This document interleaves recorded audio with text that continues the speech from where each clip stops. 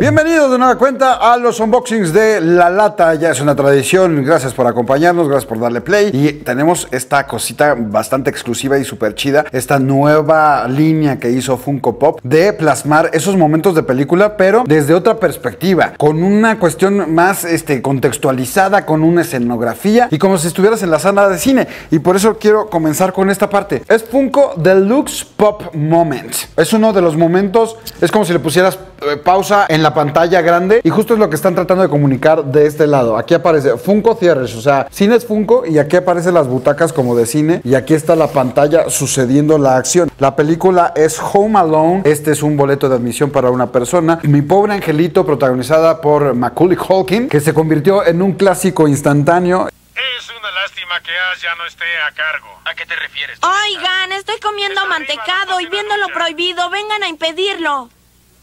Te llamará cuando salga.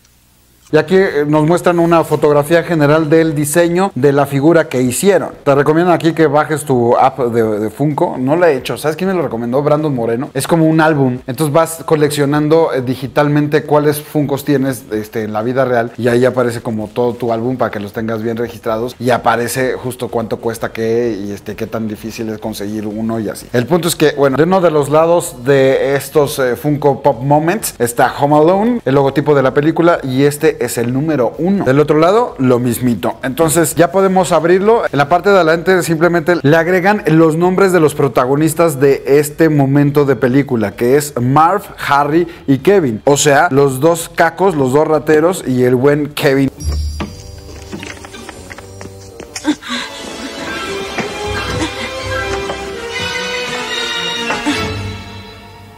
Dijiste que no estaban. Debían haberse marchado esta mañana. Vámonos de aquí. Y tiene muy buenos detalles, ¿eh? Ahorita se los voy a mostrar. Primero vamos a abrirlo. Tenemos uno ya muy similar de Avengers con la casa de Thor, cuando está gordo y cuando está echando la pizza ahí con sus amigos. Ya les hicimos un review de esto. Se encuentra justamente aquí mismo en la lata, así que vayan y búsquenlo. Sacas la caja, es una caja de acrílico. Todavía tiene un plastiquito extra que sin problema alguno se le puede quitar para que pueda percibirse de mejor forma. Le quitamos este plástico y bueno, se va a ver mejor. Va, va a ser, digamos que mucho más transparente el acrílico, pero como se los dimos a conocer hace poquito, esta caja de acrílico está hecha para no abrirse. Ya no te dan la opción. Algunas personas me comentaron que estaba chido, otras que no, porque como se los dije en aquel momento, los Funko, esta tradición de mantenerlos en la caja fue como una cuestión que la adoptó la gente por iniciativa propia, pero siempre tenías la opción de abrirlo o no abrirlo. Tú lo decidías. Aquí ya te chingaste. No quieren que lo abras. Y si tú pretendes abrirlo, tendrías que meterte a abrir y a desatornillar cada uno de estos hoyitos para poder lograr liberar el personaje. Es un pedo. Entonces está hecha para esto. Y ya metiéndonos a la escena como tal, pues bueno, es una de las, o sea, prácticamente cualquier escena de mi pobre angelito yo creo que la tenemos en la mente. Ya no tengo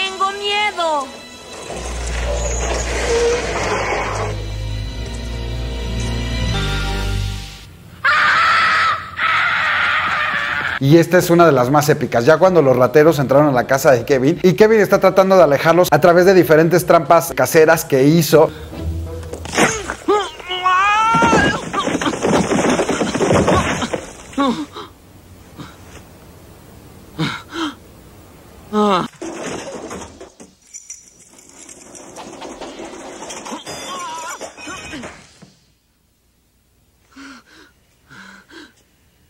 Él se encuentra en el primer piso de su casonona y está lanzando eh, estas cubetas con pintura. Cubetas así súper pesadas, las tiene ahí como colgando y las lanza para que les den unos madrazos. Ya lanzó la primera y está golpeando a Harry y está bastante chido porque todo está pegado. Entonces están los hilos pegados a la mano de Kevin donde tiene otra cubeta de pintura y el otro hilo que es digamos que ya el movimiento está golpeando. Entonces aparece incrustada en la frente del personaje mientras que no está parado normal, sino es el momento en el que está siendo impactado y está saliendo volando.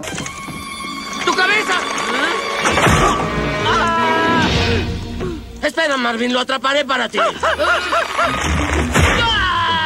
Y entonces aquí aparece, no es, como que esté levitando, sino se está yendo hacia atrás y está cayendo y, ahí aparece uno de sus pies en la orillita del escalón y el otro levantado y a punto de darse un super madrazo con la bufanda incluso medio volando. Y su compañero de fechorías se encuentra en la parte de atrás con el mismo trajecito que lo vimos en la película, esos detalles los cubrieron bastante bien, con su barreta, esta que usaba para abrir las puertas, para forzarlas, lo tiene en la mano y sus guantecitos, ya sabes, que no tenían dedos pues, poder sentir, no está haciendo mucho frío en esa época, pero quiero seguir sintiendo las cosas para, para poder abrir, por ejemplo, las casas.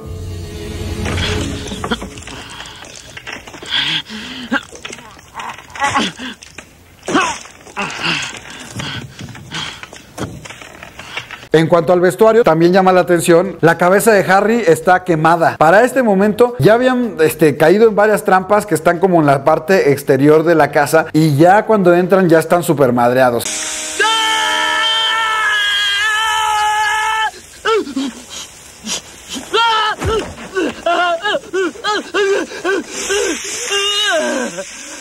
Entre las cosas que les pasó es un soplete directamente a la cabeza y aquí está integrado justamente esa continuidad de la película. Está muy chingón, o sea, que, que cuidan ese tipo de detalles.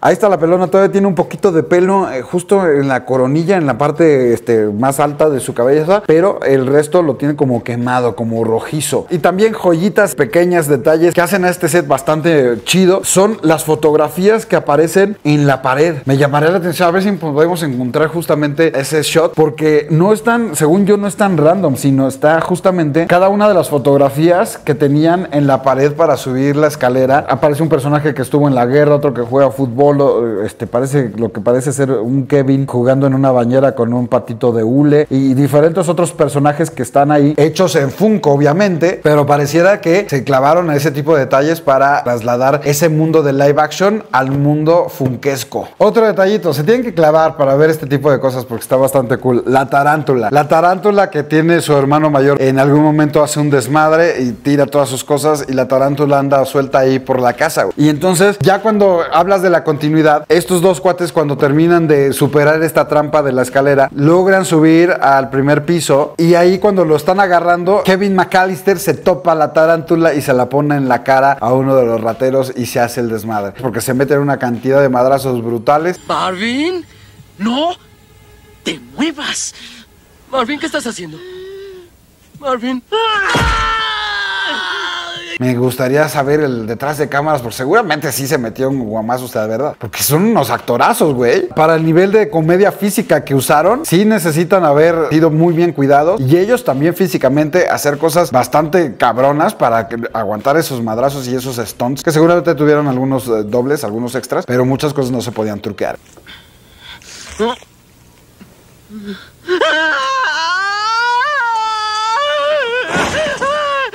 Entonces, es una de las películas más chidas que existe en la vida, que no envejece, que sigue funcionando. En la parte de arriba, en el acrílico aparecen los logotipos de Pop y de Funko. Y por el resto, no hay nada. Está súper bien sellada. Y como se lo pueden ver, o sea, o sea, si lo haces así, a pesar de que están las cosas así como, eh, como flotando, están sumamente fijas y estables, rígidas y no se mueven en absoluto. Entonces, está hecha para que ni la muevas, brother.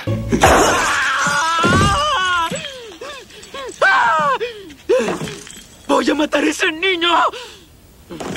Ya veremos si algún ocioso le mete este, el desarmador y, este, y se pone a ver qué, qué hay más allá, más, más adentro de esto. Pero de entrada podemos ver, si nos metemos a detallito, que eh, la escenografía es como una especie de cartulina eh, con repujado, ¿no? Con algunas, algunos pliegues que hace que se vean como en volumen, que le dé una perspectiva a cada uno de los cuadros o de los barandales o de las ventanas, de todo, para que se vea un poquito más real. Por favor, estoy muy asustado. Es muy tarde para ti. Ya entramos en la casa y vamos a atraparte. Está bien, vengan por mí.